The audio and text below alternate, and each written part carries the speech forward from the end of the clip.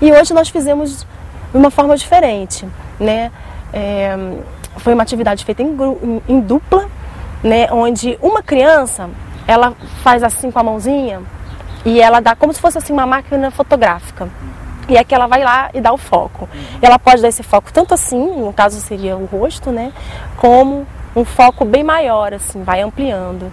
Né? Aí depois ela diminui e ela pode dar o foco aonde ela quiser. A gente vai se separar em duplas e aí o primeiro da dupla vai guiar, vai fazer esse foco aqui e o outro vai olhar, né? Vai vir atrás olhando com, como se fosse com o olho dele. Aí quando eu bater palma, vai trocar. Depois dessa atividade, nós fomos para o viveiro. O viveiro é o espaço aonde nós chamamos de berçário, né, que é o espaço onde a gente cultiva as plantas enquanto elas ainda não estão prontas para irem para a nossa área ao ar livre, né? Depois do viveiro nós fomos para a agrofloresta, que aí é o espaço que as crianças ficam curiosas, né? O que, que é isso, agrofloresta, né?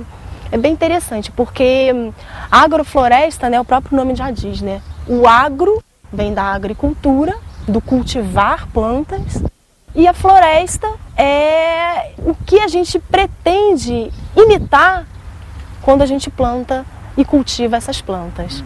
Só que a gente imita essa floresta tropical com plantas que a gente utiliza para comer, com plantas que a gente utiliza para fornecer madeira, com plantas que a gente utiliza também como adubo. A gente vai entrar na agrofloresta e vai sair por outro lado, tá bom? Mas tem que ser em silêncio para a gente poder não machucar as plantas.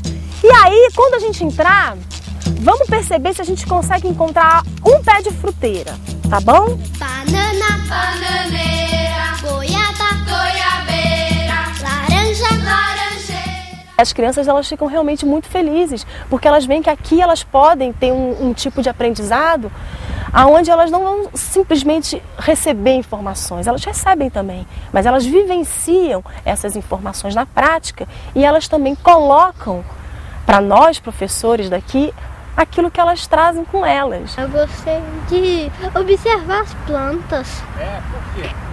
Ah, porque dá pra gente ver melhor.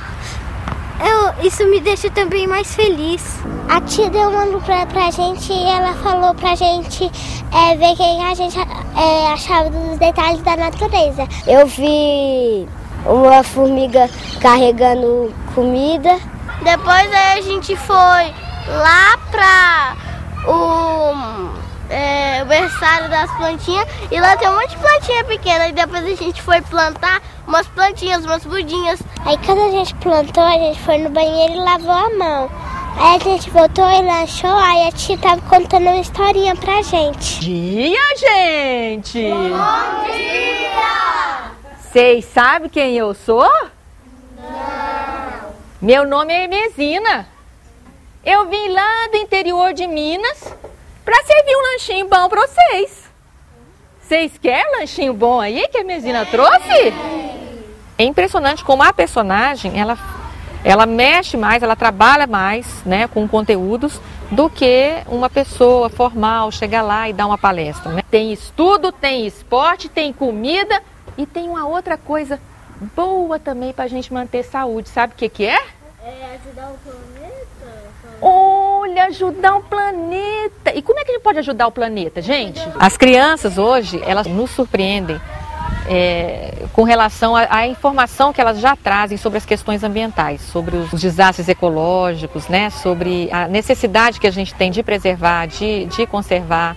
Então, quando nós trazemos alguma pergunta para a criança, a gente sente que eles têm mais informação hoje. A gente não pode maltratar o meio ambiente, a gente tem que cuidar.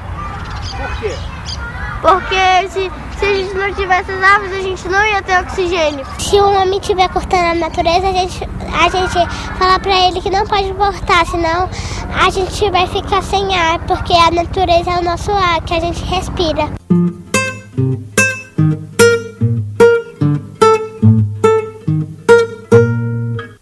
A criança tem que perceber que essa relação com a natureza ela não se dá só quando ele está no meio do mato ou quando ele está pegando, observando um pássaro, mas o simples fato de você abrir uma torneira, de você não jogar lixo na rua, são essas pequenas coisas que vão gerar uma grande transformação.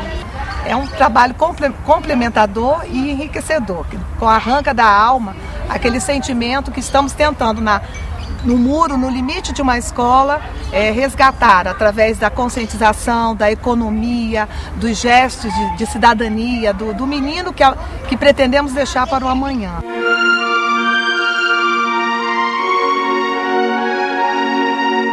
A educação ambiental como disciplina seria o máximo da fragmentação, né? Porque a vida ela tem que estar presente em tudo, né? É, é, ambiente, quando a gente fala de ambiente, a gente está falando de vida. A gente está falando de preservação, de conservação.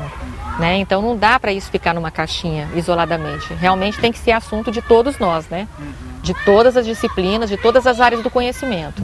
O projeto Planetário nas Escolas, coordenado pelo professor Luiz Edivar, da equipe da Escola da Natureza, é um exemplo disso. Periodicamente, um planetário itinerante é levado às escolas da rede pública do Distrito Federal. Durante a projeção, fascinadas com imagens do céu e das estrelas, as crianças entendem melhor a dimensão do nosso planeta diante do infinito do universo. Quando você estuda astronomia, você vê que o universo é muito grande e a Terra é um planeta muito raro. Né? Cada vez mais os astrônomos têm uh, essa percepção da Terra como um planeta raro. Né? Então a gente mostra isso durante a apresentação né, de que se você entender o universo, né, entender coisas maiores, né, isso acaba levando você a ter uma percepção mais adequada do significado que a Terra tem né, como suporte de vida, né, como, como um planeta raro que deve ser preservado. Duas coisas a gente deve dar pela educação. Primeiro é o lado do sentimento ético, que traz o compromisso com o respeito à natureza. E o segundo é o entendimento de como as partes da natureza se relacionam. O futuro depende de como nós nos comportarmos em relação à natureza. E comportamento vem da educação. Se nós destruirmos a natureza, como temos destruído ao longo dessas décadas todas, não haverá futuro para as crianças de hoje. Agora, se nós conservarmos e usarmos bem, de maneira sustentável, a natureza, aí o futuro pode sim ser muito melhor para as atuais gerações. Por isso, todos nós devemos cuidar da natureza. Mas quem mais deve ter interesse nisso são as crianças.